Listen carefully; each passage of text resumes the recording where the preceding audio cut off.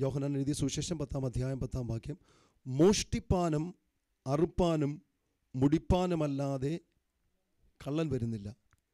അവർക്ക് ജീവൻ ഉണ്ടാകുവാനും സമൃദ്ധിയായിട്ട് ഉണ്ടാകുവാനും അത്രേ ഞാൻ വന്നിരിക്കുന്നത്. അപ്പം യേശു വന്നതിന്റെ ആ ഉദ്ദേശത്തെക്കുറിച്ച് പറയുകയാണ് എന്തിനാ?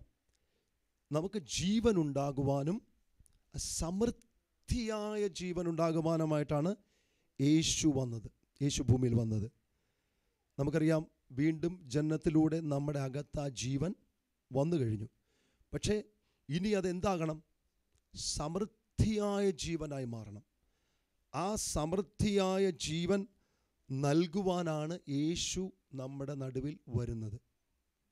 അന്നും ഇന്നും കർത്താവ് നമ്മൾ പ്രാർത്ഥിക്കുമ്പോൾ രണ്ടോ മൂന്നോ പേരുടെ നാമത്തിൽ എവിടെ ഒരുമിച്ച് കൂടുന്നു അവരുടെ നടുവിൽ കർത്താവ് എന്തിനാ വരുന്നതെന്ന് അറിയാമോ സമൃദ്ധിയായ ജീവൻ തന്നെ. അപ്പം സമൃദ്ധിയായ ജീവൻ യേശു തരാനാണ് വന്നത്. പക്ഷേ കള്ളൻ വരുന്നതിനെക്കുറിച്ച് അവിടെ പറയുന്നത് എന്തുവാ? മോഷ്ടിപ്പാനും അറുപ്പാനും. പിന്നെന്തുവാ? മുടിപ്പാനുമല്ലാതെ കള്ളൻ വരുന്നില്ല. കള്ളന്റെ പ്രത്യേകതയെക്കുറിച്ച് ഒന്നാം വാക്യത്തിൽ അവിടെ പറയുന്നുണ്ട്. അതിന്റെ ഒന്നാം വാക്യത്തിൽ പറയുന്നു ആമേൻ ആമേൻ. ഞാൻ നിങ്ങളോട് പറയുന്നു ആട്ടിൻ തൊഴുത്തിൽ വാതിലൂടെ കടക്കാതെ വേറെ വഴിയായി കയറുന്നവൻ കള്ളനും കവർച്ചക്കാരനുമാകുന്നു. അപ്പം ആട്ടിൻ തൊഴുത്തിൽ വാതിലൂടെ കടക്കാതെ വേറെ വഴിയായി വരുന്ന ആളാണ് കള്ളൻ. കള്ളൻ എപ്പോഴും എങ്ങനെ വരുന്നത്? നമ്മളത്തെ ഫ്രണ്ടിലത്തെ നമ്മുടെ വീടിന്റെ ഫ്രണ്ട് ഡോർ തുറന്നാണ് കയറി വരുന്നത്? അല്ല പുള്ളി മച്ചിന്റെ മേളിൽ നിന്നോ അല്ലെങ്കിൽ ടെറസ് വഴിയോ അങ്ങനെ ഏതെങ്കിലുമൊക്കെ ഊടുവഴിയിലൂടെയാണ് കള്ളൻ വരുന്നത് മോഷ്ടിക്കാൻ അല്ലേ? അപ്പോൾ പിശാചും ശരിയായ വഴിയിലൂടെ അല്ല വരുന്നത്.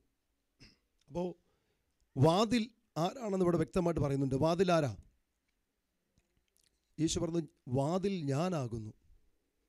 യേശുവാണ് വാതിൽ. അപ്പോൾ ആ വാതിലൂടെ കടക്കുന്നവൻ രക്ഷപ്പെടും അവനകത്തു വരികയും പുറത്തു പോവുകയും മേച്ചിൽ കണ്ടെത്തുകയും ചെയ്യും.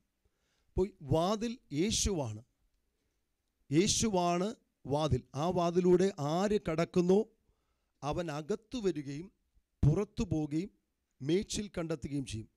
അപ്പോൾ യേശു എന്ന വാതിലൂടെ അല്ലാതെയാണ് കള്ളൻ പലപ്പോഴും വരുന്നത്. നമ്മൾ ആ കള്ളൻ വരിക എന്ന് പറയുമ്പോൾ നമ്മൾ ഉദ്ദേശിക്കുന്നത് രീതിയിലല്ല. നമ്മുടെ ചിന്തയിലൂടെയാണ് കള്ളൻ പ്രവേശിക്കുന്നത്. ദൈവ വചനത്തിന് വിരുദ്ധമായി പൊങ്ങുന്ന ഉയർച്ചകൾ ചിന്തകൾ വിചാരങ്ങൾ അതിലൂടെ വന്നാണ് കള്ളൻ നമ്മുടെ അകത്ത് നിന്ന് എന്തോ മോഷ്ടിക്കുന്നത്? ജീവനിൽ നിന്ന് ജീവനെയാണ് മോഷ്ടിക്കുന്നത്. ആ ജീവൻ നമ്മുടെ അകത്ത് ഉണ്ടെങ്കിൽ നമുക്ക് സമാധാനമുണ്ടാകും നമുക്ക് സന്തോഷമുണ്ടാകും നമുക്ക് ആനന്ദമുണ്ടാകും നമുക്ക് ധൈര്യമുണ്ടാകും നമ്മൾ നിർഭയരായിരിക്കും. പക്ഷേ ഈ ജീവന്റെ അനുഭവം നഷ്ടപ്പെട്ടു പോയാലോ? കള്ളൻ വന്നെന്ത് ചെയ്യും? ഒരു ചിന്ത കൊണ്ടുവന്നിട്ട് നമ്മുടെ അകത്തുള്ള ദൈവജീവനെ അനുഭവിക്കാൻ കഴിയാതെയാക്കും. ആ അനുഭവത്തിൽ എന്ത് സംഭവിക്കും? നമ്മുടെ സന്തോഷം നഷ്ടപ്പെടും. നമ്മുടെ ഹൃദയത്തിലുള്ള സമാധാനം നഷ്ടപ്പെടും. നമ്മുടെ അകത്തുള്ള സ്വസ്ഥത നഷ്ടപ്പെടും. നമ്മുടെ അകത്തുള്ള ദൈവത്തിന്റെ ആ ആനന്ദം നമുക്ക് നഷ്ടപ്പെടും. അപ്പോൾ കള്ളൻ വരുന്ന വഴി ഏതാണെന്ന് നമ്മൾ വ്യക്തമായി തിരിച്ചറിയണം. ഏത് വഴിയാ? വാതിലൂടെ അല്ലാതെ യേശുവാണ് വാതിൽ. അവനാണ് വഴിയും സത്യവും ജീവനും. ഞാനാകുന്നു. എന്നിലൂടെ അല്ലാതെ ആരും പിതാവിന്റെ അടുക്കൽ ചെല്ലുന്നില്ല എന്ന് കർത്താവ് വ്യക്തമായി പറയുകയാണ്. അപ്പോൾ അവനാണ് വാതിൽ വഴി. ആ വഴിയിലൂടെ നമ്മൾ പ്രവേശിക്കുകയാണെങ്കിൽ നമ്മൾ അകത്തു വരികയും പുറത്തു പോവുകയും മേച്ചിൽ കണ്ടെത്തുകയും ചെയ്യും. മേച്ചിൽ എന്ന് പറയുമ്പോൾ അത് അനുഗ്രഹത്തെയും സമൃദ്ധിയെയും എല്ലാ നന്മയും കാണിക്കുകയാണ്. അപ്പോൾ യേശു നം എന്തിനാ വന്നത്? നമുക്ക് ജീവൻ തരാനും ആ സമൃദ്ധിയായ ജീവൻ തരാനാ. ആ സമൃദ്ധിയായ ജീവൻ എവിടെ ഉണ്ട് അവന്റെ വചനത്തിലുണ്ട്. ആ വചനത്തിൽ നിന്ന് നമ്മൾ ഈ ദിവസങ്ങൾ സമൃദ്ധിയായ ജീവനെ പ്രാപിക്കണമെന്ന് കർത്താവ് ആഗ്രഹിക്കുക. ഹലലൂയ അങ്ങനെയെങ്കിൽ മാത്രമേ നമുക്ക് കള്ളനെ ഓടിക്കാൻ പറ്റൂ.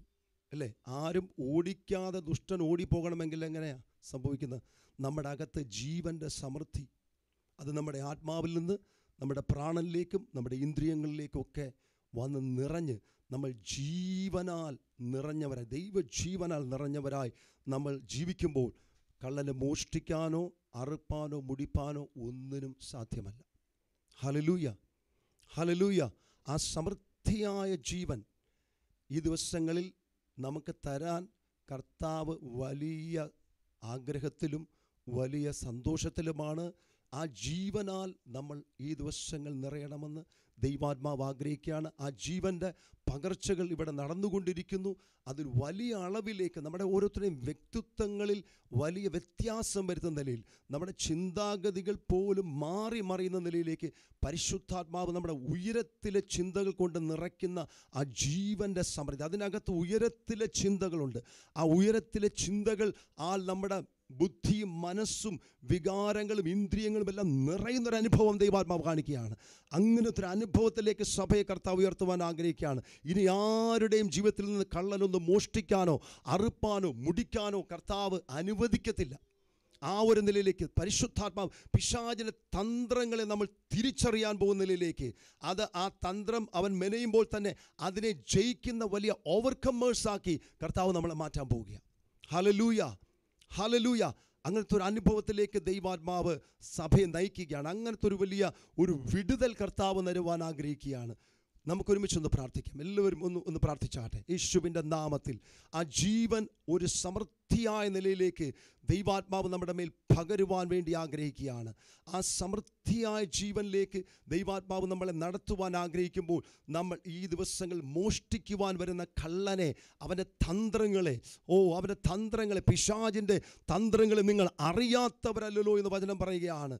പിശാജിന്റെ തന്ത്രങ്ങളെ നമ്മൾ അറിയണം. അവന്റെ തന്ത്രം എന്താണ്? മോഷ്ടിക്കുക അറുക്കുക മുടിക്കുക എന്നത് മാത്രമാണ്. ചിന്തയിലൂടെ അലറുന്ന ചിന്തകളിലൂടെ അലറുന്ന ഭാവനകളിലൂടെ പിശാജ് വന്ന് നമ്മുടെ അകത്തുള്ള ജീവനെ കവർന്നെടുക്കാൻ ഇനി നമ്മൾ ആരും അനുവദിക്കരുത്. ഹോറബ ഖാനിയ സ്വിമേറിയ ലബ. ലിമയ ധാന റോക്കോ സൊമോറിയൽ ദൈവാത്മാവിന്റെ വലിയ ഇടപെടലുണ്ടാകുകയാണ്. നിങ്ങളുടെ ചിന്തകളെ പരിശുദ്ധാത്മാവ് പരിശോധിക്കുന്ന അനുഭവങ്ങളാണ്. ദൈവാത്മാവ് നിങ്ങളുടെ ചിന്തകളിലേക്ക് ഇറങ്ങി വരുന്ന അനുഭവങ്ങളാണ്. റോമോ ഷിഖായ റീബാന ജനാധന ചിന്തകളെ മറിച്ചു കളയുന്ന അനുഭവങ്ങളെ ദൈവാത്മാവ് ഇപ്പോൾ നിങ്ങളെ സൗഖ്യമാക്കുകയാണ്. റൂമാന ജനാധിയ ലബ ചിന്തകളിൽ നമുക്കൊരു വലിയ ജയമുണ്ടെന്ന് വ്യക്തമായി തിരിച്ചറിയുക. ചിന്തകളുടെ മേൽ നമുക്ക് വലിയ ജയമുണ്ടെന്ന് നമ്മളെ ഭാരപ്പെടുത്തുന്ന ചിന്തകൾ ആകുലപ്പെടുത്തുന്ന ചിന്തകൾ നമ്മളെ ഭയപ്പെടുത്തുന്ന ചിന്തകളുടെ മേൽ ഇന്ന് പകൽ യേശുവിന്റെ നാമത്തിൽ ജയം പ്രഖ്യാപിക്കുകയാണ്. മനസ്സിന് വലിയ രൂപാന്തരങ്ങൾ ദൈവാത്മാവ് ദിവസങ്ങൾ തരാൻ പോവുകയാണ്. എല്ലാ മനസ്സുകളെയും കർത്താവ് രൂപാന്തരപ്പെടുത്തുവാൻ പോവുകയാണ്. ക്രിസ്തുവിന്റെ മനസ്സോ മനസ്സിനോട് നമ്മളെ രൂപാന്തരപ്പെടുത്തി ക്രിസ്തുവിന്റെ മനസ്സിലേക്ക് ഒരു ഷിഫ്റ്റ് ഉണ്ടാകാൻ പോവുകയാണ്. യേശുവിന്റെ നാമത്തിൽ സഭയെ അനുഗ്രഹിക്കുകയാണ്. എല്ലാ മഹത്വം അങ്ങേക്ക് യേശുവിൻ നാമത്തിൽ തന്നെ.